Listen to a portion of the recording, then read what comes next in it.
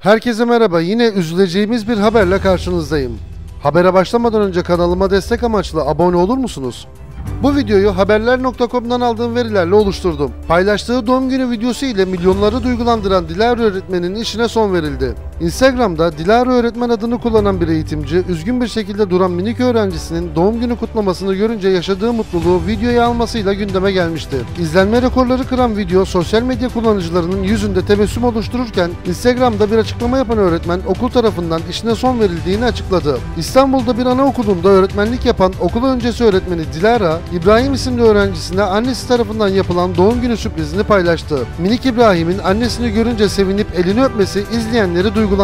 Dilara öğretmen videoyu sosyal medya hesabından paylaşarak öğrencisinin mutluluğuna ortak oldu. Öğretmeni paylaşımda şu ifadeleri kullandı. Şu videonun bana yaşattığı duyguları asla tarif edemiyorum. O annesine minnet dolu bakışı, saygısından elini öpüşü, sevinci, ışıltısı. Gerçekten çok anlara şahit oldum ama izledikçe ağlatan, hem içimde burukluk yaşatıp hem de böyle güzel anlara şahit olduğum için çok mutlu olmamı sağlayan tek videodur. Paylaşımı sosyal medyada yoğun ilgi gördü. Geçtiğimiz haftalarda gündeme oturan video sonrası Dilara öğretmen Instagram'dan dikkat çeken bir paylaşım yaptı. Öğretmenin yaptığı açıklamada video 5 Kasım 2021 tarihinde çekildi ama yayınlanma tarihi 9 Ocak 2022 tarihidir. Velinin onayı ve izni dahilinde paylaşılan bir görüntüydü ki bunu zaten sizlere kanıtlı olarak sundum. Ben video öncesinde 1000 takipçisi olan küçük bir sayfaydım. Amacım burayı gelecek yıllarda arşiv olarak kullanmak ve belki diğer öğretmen arkadaşlarım da faydalanmak ister düşüncesiydi. Ben bu videonun bu kadar ses getireceğini, ülkenin gündemine oturacağını tahmin etmedim. Kimse de tahmin edemezdi ifadelerine yer verdi. Dilara öğretmen açıklamalarına şöyle devam etti. Video benim kontrolümden çıktıktan sonra asla önüne geçemedim. Ben bu durumu okulda gerekli üstlerime söyledim. Müdür yardımcısı ve müdüre ilettim.